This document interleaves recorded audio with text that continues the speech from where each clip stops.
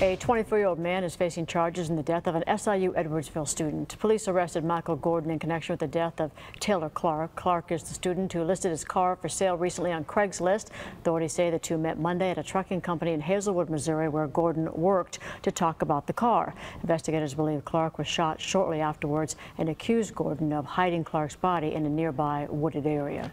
And we have more now on a story that we first broke online late last night. Some students at Southern Illinois University say a professor charged with battering a student gave some pretty unusual lessons in the days leading up to the alleged crime. According to new documents we've obtained from the university, the professor is now on unpaid administrative leave and banned from campus following the incident and for a series of complaints by students of unusual behavior. Giacomo Luca has more.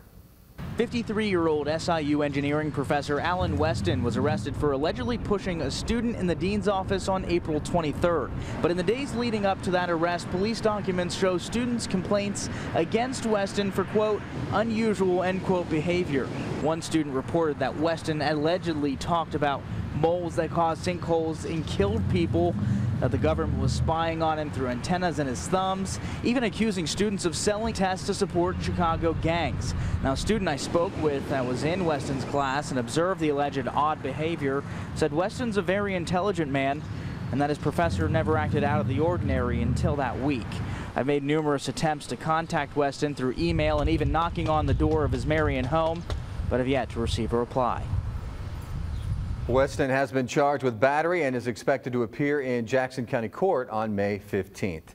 Do have a breaking news update on an outbreak of tornadoes that tore through parts of uh, the Midwest today. Reports of twisters touching down in Kansas, Nebraska, and Oklahoma. Take a look. This is some of the damage in the Bridge Creek, Oklahoma area. You can see telephone poles leaning and power lines are down. And an aerial view of the town shows just how widespread that damage is, with dozens of homes being destroyed by a presumed tornado there. Meanwhile, in nearby Moore, Oklahoma, the heavy rain has left a lot of flooding. Stretches of two interstates had to be shut down because of the storm. The good news so far, and we're knocking on wood here, we are hearing about no reports of people being injured or killed.